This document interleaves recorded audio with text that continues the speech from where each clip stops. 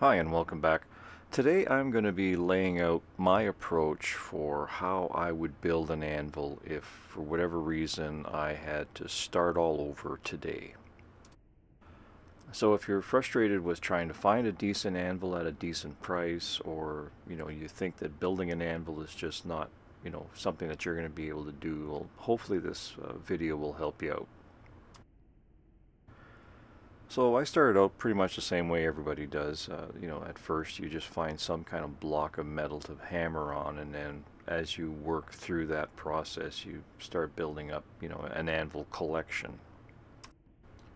And what I have here are my first three anvils. The one on top is basically the anvil that I grew up with. It was uh, just a short section of railroad rail and it was always on my dad's workbench then we used it for straightening nails and that kind of a thing.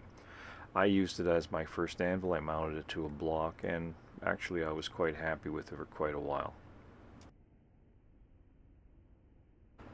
The second anvil in the stack is just a basic track anvil and I think you know, this is probably the most familiar anvil out there. Everybody at some point in time winds up with one of these, and this is mine. It was just cut out with a torch and ground to shape, but at least it looked like an anvil, so I was able to convince myself that I was really getting somewhere. And part of me felt really good standing behind this thing. And of course, at the bottom of the stack is my first real anvil. Uh, it took me a couple of years to find this anvil, so uh, I was really happy when I did. And it is obviously a big improvement over the other anvils that I have. This one weighs about 85 pounds and it has a big sturdy base which makes it extremely stable so you can get a lot of work done on this anvil despite its weight. And this was the anvil that I used for well over 20 years. It produced a lot of work and I was very happy with it. However, I did stop using this anvil for a short time when I managed to find a small London pattern anvil that I could afford, and that was, you know, the big prize. It was the epitome of anvils as far as I was concerned at that time, and, you know, the narrow waist and the graceful lines made it a really good looking anvil. It was also a little bit heavier than the anvil that I was using at the time, so I really felt that this was a step up. But when I started using this anvil, I realized that it was really a badly designed anvil for forging. The problem with that design of an anvil is the narrow waist. If you keep the same proportions and just start shrinking everything down, it gets to a point where that narrow waist just won't support any amount of work. It turns into a big tuning fork and you can't keep it from vibrating and moving around no matter how much you clamp it down to a heavy base. This anvil does work fine on a much larger scale, but the one that I had just didn't perform as well as my original anvil, so I switched back. So this experience taught me a lot about what I wanted to have in my next anvil. And several years later I found the anvil that I'm currently using. It's the same shape as this first anvil, but uh, it weighs 230 pounds. I uh, really liked the extra length and width of the uh, working surface, but I really thought that the extra weight would really be a big advantage, but turns out that it really wasn't. Because I had my first anvil clamped down to a heavy base, the uh, difference in performance was really pretty minimal. And I think the main reason for that is the proportions of the base. The footprint on my large anvil isn't a heck of a lot larger than the footprint on this small anvil. So the difference in those sizes seems to compensate for the weight difference. So the first thing you need to consider when you're building your own anvil is that the anvil and the anvil base are one unit. You have to think about the whole package as something that works together. The base isn't just something that elevates an anvil up to a working height. It's the key element that allows you to get the best performance out of your anvil. This is basically how my track anvil was set up. The base is an old machine stand that I had kicking around. I don't know what it was originally used for, but I used it for the base of my anvil for you know the first year or so that I was working. I have the standard bracket that I use to set up all my different workstations, you know, mounted to the side of this machine stand, but basically this is how it looked. The track anvil was bolted very securely down to this machine base and the wide base of the uh, machine stand made it a very very stable platform so even though this anvil is very light when you bolt it to a heavy base, it starts to work like a much heavier anvil. So when you're setting up your first anvil, don't underestimate the importance of attaching that anvil to a heavy base and then, if possible, attaching that base directly to a, an even larger base like a metal plate or the floor. If the anvil moves when you're hammering, it doesn't matter how heavy the base is, it's not doing you any good. Here's an example of how I'm using this stand today. Uh, I have a vise set up in that bracket. It's uh, just a filing vise and I do some light chiseling so it doesn't matter that it's uh, overhanging the edge this far.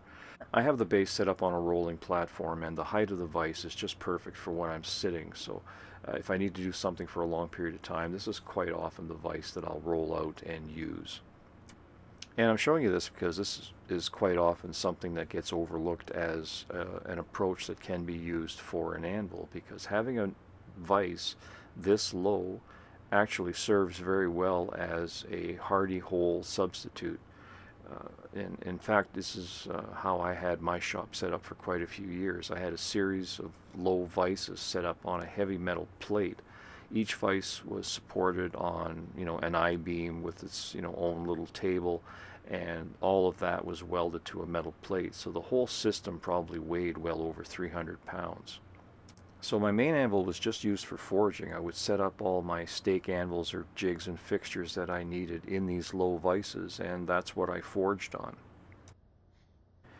The vise that you see here is just an inexpensive vise so I didn't do any heavy hammering on that, but I did have one massive vise that weighed well over a hundred pounds. It was an all steel machinist vise, had I think eight inch wide jaws. I don't remember. It's buried in the shop somewhere. I don't want to lift it anymore until I'm sure that it's gonna go in one place and stay there. But anytime I needed to set up an anvil block or a stake anvil that was going to be really used, you know, for a lot of heavy hammering, I would set it up in this vise and it worked just like an anvil. It, again, it had that heavy base.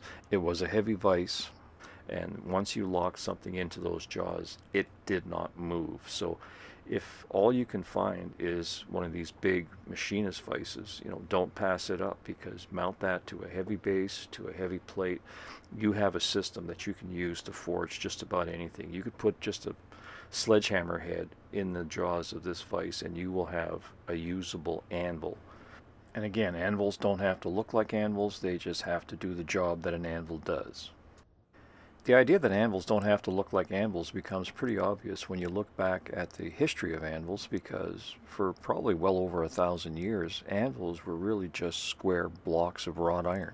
These anvils probably represented the largest blocks of wrought iron that could have been made and forged at that time and would have come from specialized shops that had the manpower to handle that kind of work. The anvil would have been used for all the basic shaping of the metal and any specialized work would have been done on stake anvils. The stake anvils could be made with much lighter materials and they were probably made by the smith himself to suit whatever kind of work he was doing.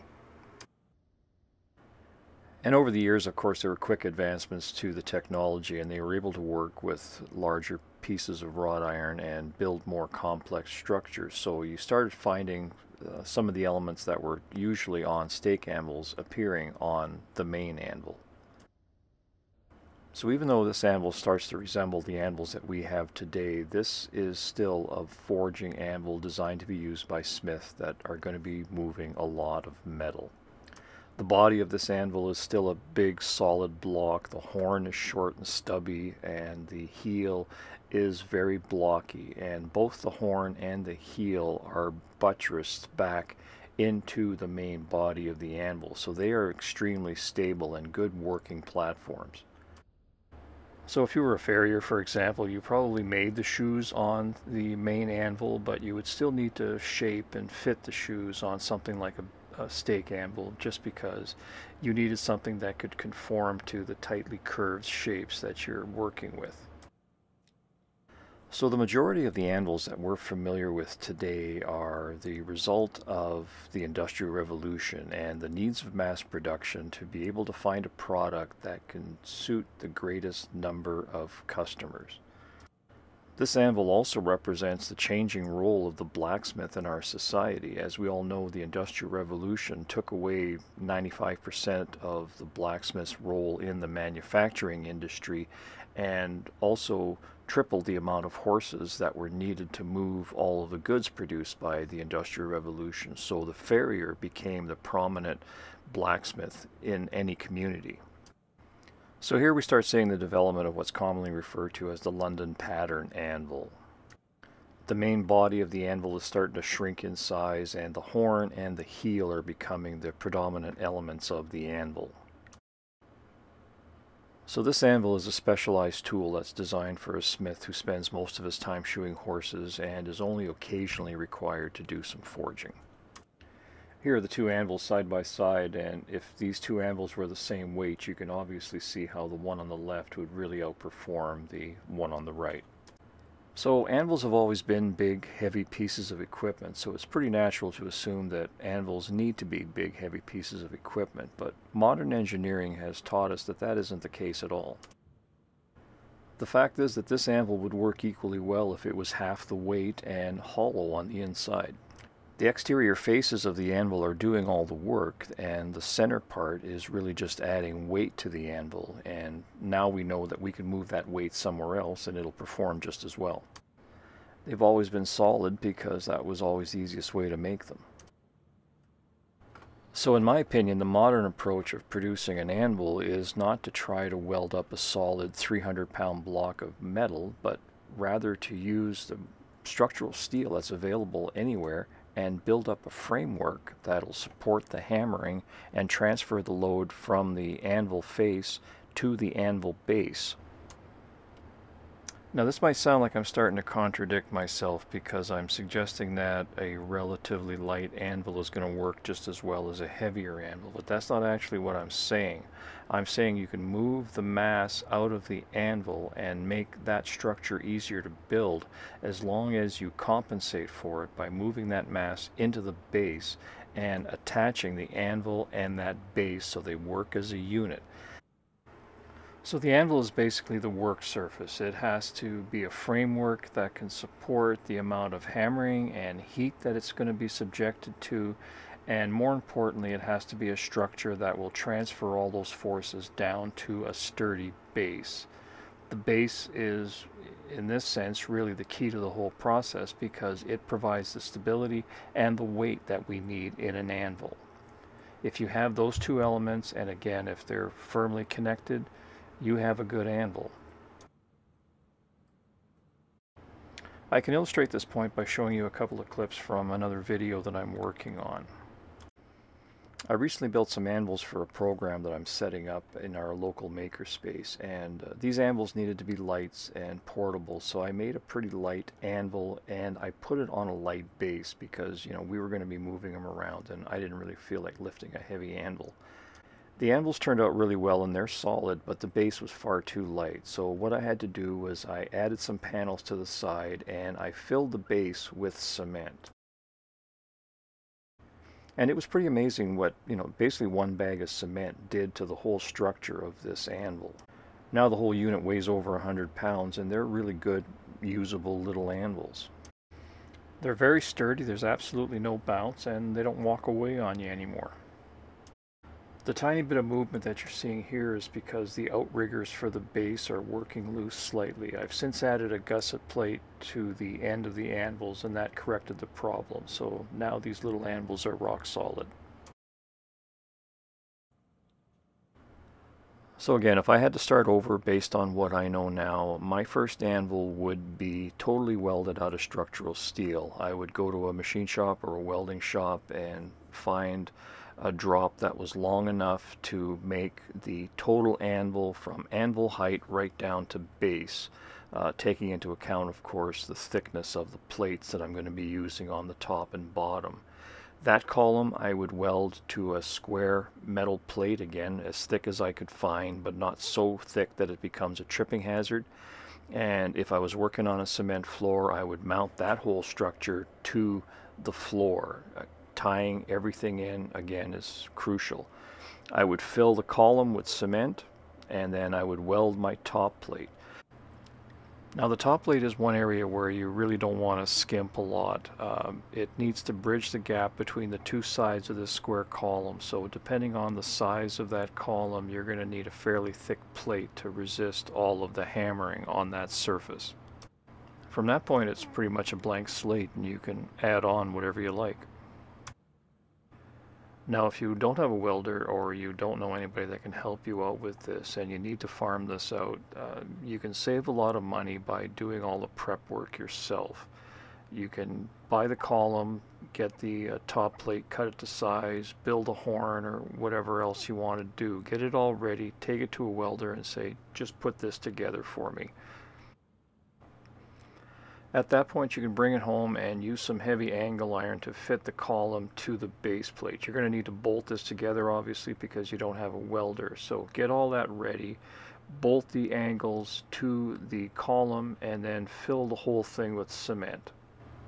And then at that point it's just a matter of flipping the whole thing over and drilling the remaining holes that you need to attach the column to the base plate. Now, if you see a length of railroad rail and it's long enough, don't pass it up because they still do make good anvils. You just need to stand them on end and use the whole length of the anvil to give you the mass that you need. If you do a search for makeshift anvils or shop-built anvils or something like that, you'll see a lot of people have, you know, really come up with some pretty innovative ideas on how to put together railroad rails into really good anvils. This beam has a pretty complicated cross section, so if you can't weld it to a heavy metal plate, the best solution is to cast it into a block of concrete. And of course the same holds true for you know a heavy section of square bar or an extremely heavy section of flat bar. You know, stand them up on end and use the whole weight of that piece as an anvil. So I hope this video helps you out and gives you some ideas of, you know, thinking about anvils in a different way. And uh, again, the column anvil is really how I would start if I had to do it all over again.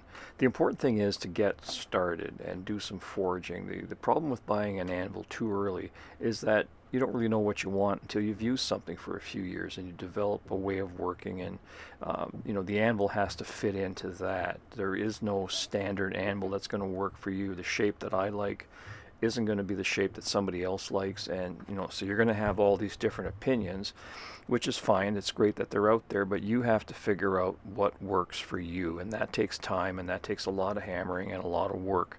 So the best thing to do is to use basically disposable anvils that you can work with modify alter try out ideas cut them off try something else whatever until you come to a point where you say to yourself, okay, that's the anvil that I need. I'm going to wait till I can afford it or I can find it somewhere cheap, eh, but that's what I'm going for, and I'm going to use this anvil until I get there.